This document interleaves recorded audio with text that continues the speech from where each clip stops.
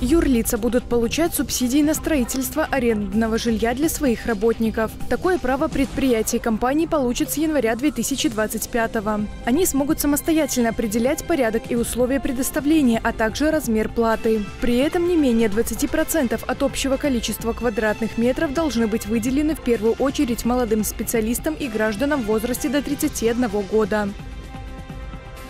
Военнослужащие 147-го зенитного ракетного полка приняли участие в республиканской акции «Соберем детей в школу». Инициатива направлена на оказание помощи социально уязвимым категориям семей. Необходимые школьные принадлежности и подарки были вручены ребятам, находящимся в социально-педагогическом центре Ленинского района Бобруйска.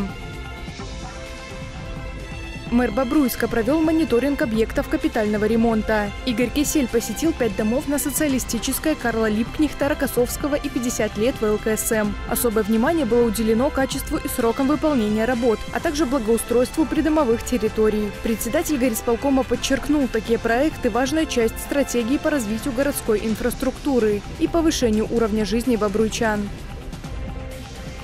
31 августа с 9 до 12 часов исполнительный комитет и районные администрации проведут прямые телефонные линии. На повестке дня обсуждение жилищно-коммунального и дорожного хозяйства, содержание и уборки территории района. Также разговор коснется контроля за исполнением документов, работы с обращениями граждан и юридических лиц.